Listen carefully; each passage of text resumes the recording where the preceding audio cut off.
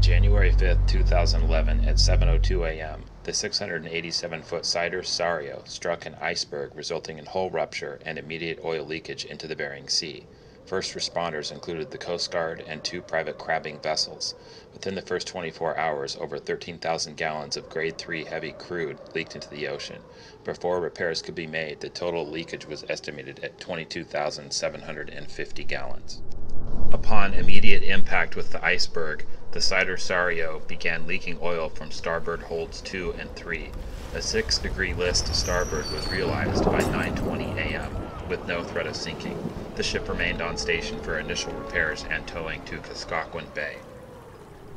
The initial oil leakage rate was estimated at 460 gallons per hour from starboard holds 2 and 3.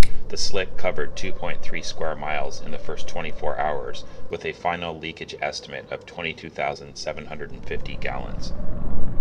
The first responder on scene was a Coast Guard helicopter, Chinook 271.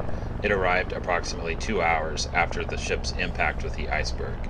It provided visual assessment of the damage and remained on site until 11:20 a.m., providing aerial support.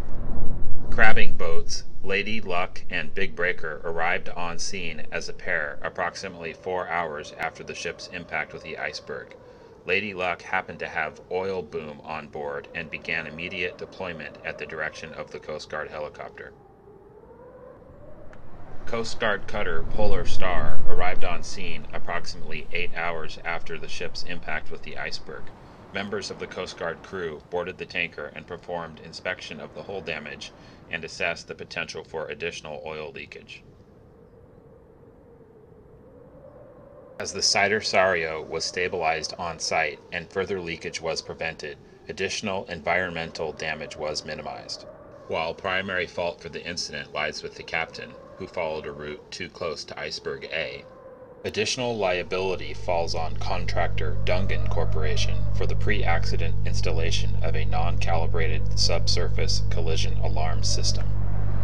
Given the heavy fog conditions, recreated here from NOAA data for this location and time, a properly installed collision alarm system would have given the captain and crew sufficient time to alter course and prevent impact with the iceberg.